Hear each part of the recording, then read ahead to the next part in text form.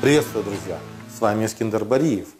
9 августа весь мир отмечает Международный день коренных народов мира. Как он появился и для чего его нужно отмечать? Какова ситуация в Украине и что необходимо предпринять? Об этом поговорим в спецвыпуске блога Liberate Crimea.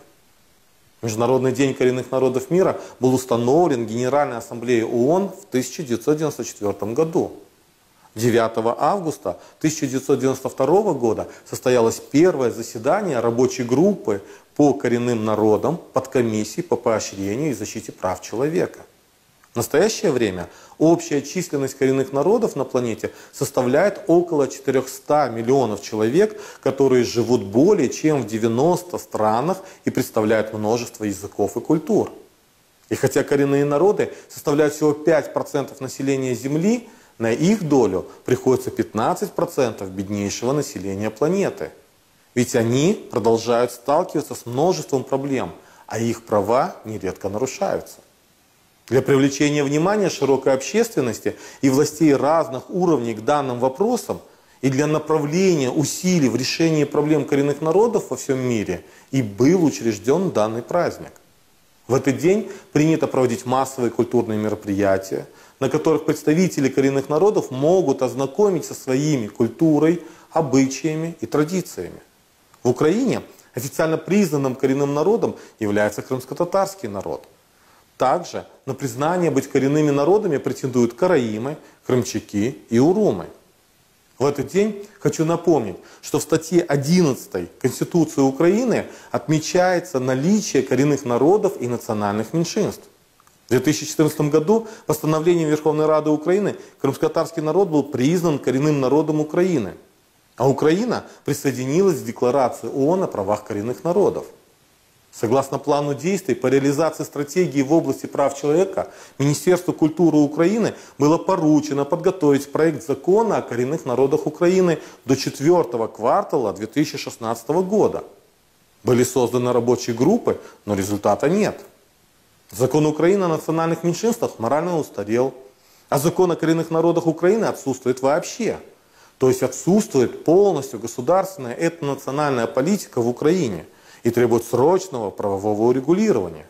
Хочу обратить внимание, что вопросы правового урегулирования этнонациональной политики для воюющей страны должен быть вопросом номер один в контексте национальной безопасности. Проводились слушания и круглый стол в профильном комитете Верховной Рады Украины в 2017, 2019 и 2020 годах. Но нет никаких результатов, за исключением популистских заявлений. Хочу напомнить, что законодательная инициатива принадлежит и президенту Украины, и народным депутатам, и кабинету министров Украины – но при этом, хоть и проводятся слушания, а на самом деле нет даже зарегистрированных в Верховной Раде Украины проектов законов. Если не будет конкретного обсуждения проектов законов, зарегистрированных в Верховной Раде Украины, не исключаю, что снова через год в Международный день коренных народов мира будем говорить о необходимости законов, но законы будут отсутствовать. Часто в выступлениях представителей исполнительной власти мы слышим только информацию о языковых проблемных вопросах. Но эта национальная политика Украины должна быть целостной, а проблема языка только ее составляющей. Для этого нужно предпринять следующие шаги. Первое. Зарегистрировать проект закона, направить его для экспертизы в экспертный механизм по правам коренных народов, который является консультативным органом Совета по правам человека ООН и имеет мандат ООН для проведения подобной экспертизы. Второе. Принять закон о коренных народах Украины с учетом стандартов Декларации ООН о правах коренных народов.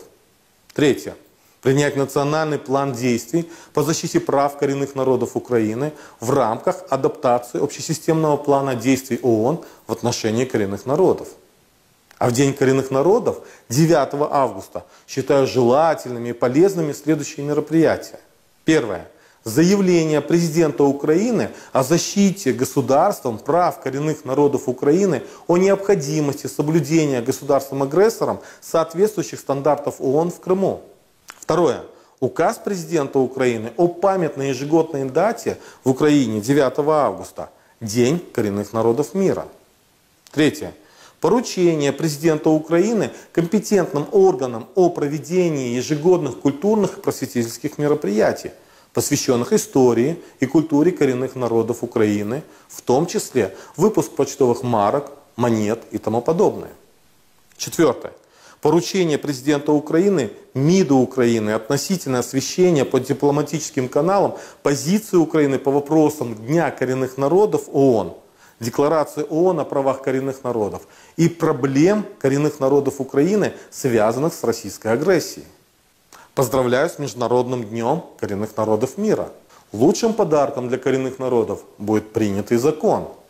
Надеюсь, что до следующего дня коренных народов такой закон будет в Украине. Защитите коренные народы Украины. Боритесь за Крым. Боритесь за Украину. Чем больше людей будут знать правду о Крыме, тем больше шансов его освободить. Желаю мирного неба над головой. До новых встреч!